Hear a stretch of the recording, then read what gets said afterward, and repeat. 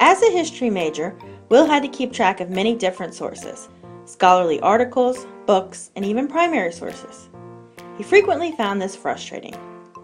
He kept copies of PDFs on his computer, but he often struggled to find the specific source that he was looking for when he needed it.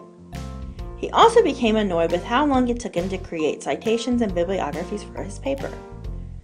He knew that most databases had a feature that would allow him to copy a citation for a source. And he learned that many databases also had an option to create an account and save citations to his account.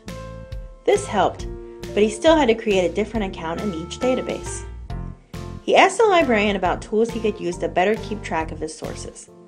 She recommended that he consider using citation management software, such as Zotero. The librarian explained that Zotero is a free citation management tool that he could download to his computer.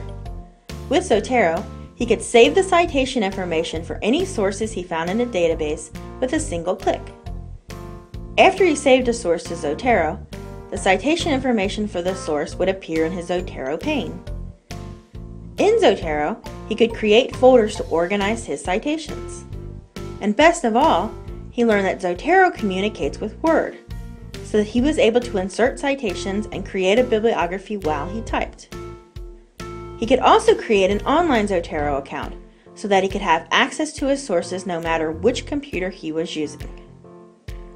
The librarian did caution that the citations created by tools such as Zotero are not always perfectly accurate, and it was his responsibility to make sure he checked each citation to make sure it was correct before he submitted his work. The librarian explained that, in addition to Zotero, there were other available citation management tools, including EndNote Basic and Mendeley, both of which had similar features to Zotero. After trying a few of the different citation management options, Will found one that worked for him, and afterwards he found it much easier to manage his sources and to create citations and bibliographies.